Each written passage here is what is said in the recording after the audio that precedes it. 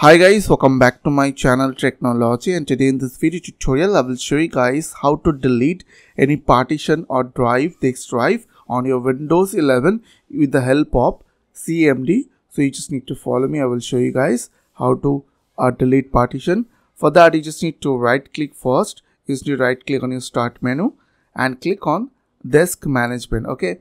So here you can see all your uh, disk and partition. So kindly have only one disk means drive which is this 0 under that. I have two partition which is C drive and E drive. So I'm going to format this drive. So first so I will open uh, CMD first and right click on CMD and click on run as administrator. After that click on yes. Now after open command prompt you just need to type the command is called disk part. Okay after open diskpart so as you can see diskpart is open successfully. So now i'll type the command is called list volume.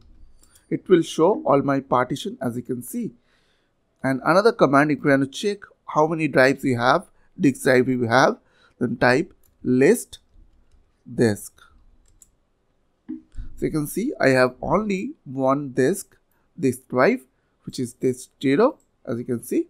So now i'm going to format this 9 GB partition which is uh, E drive as you can see E.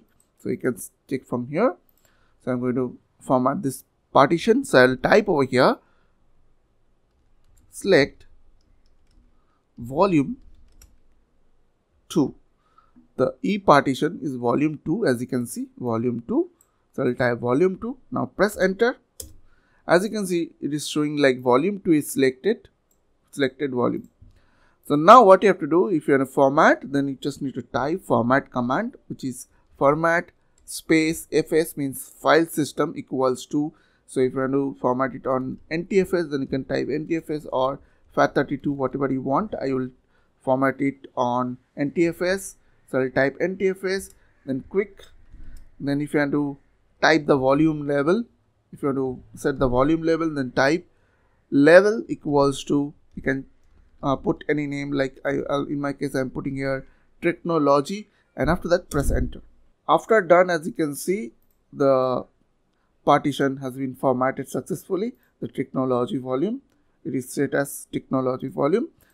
Same way if you want to uh, delete your if you have multiple this drive if you want to delete that then what you have to do you just need to select that disk so to type select disk then this number which is in my case 0 for an example and after that you type clean okay so before type clean command make sure that you have selected proper this drive don't uh, don't select your uh, C drive where you have installed your Windows 11 okay so I hope this tutorial really help for you and please don't forget to click on the subscribe button, like button and share button and if you have any questions or question then comments down below. I will see you guys on the next one next video. Till then bye bye take care.